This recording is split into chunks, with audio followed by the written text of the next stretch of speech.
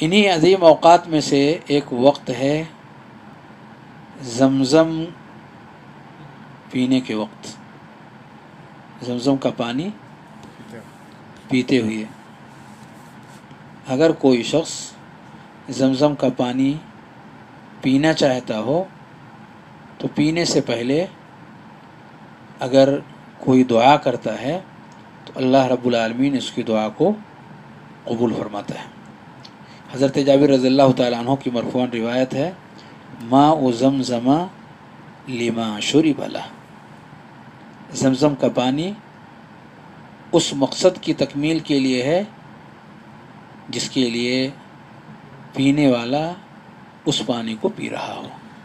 Lima Shuri भला जिस मकसद के लिए उसे पिया जाए, अल्लाह रब्बुल आलमीन उस मकसद को अता फरमाएगा। ये रिवायत मुसंद अहमद की है और सही है।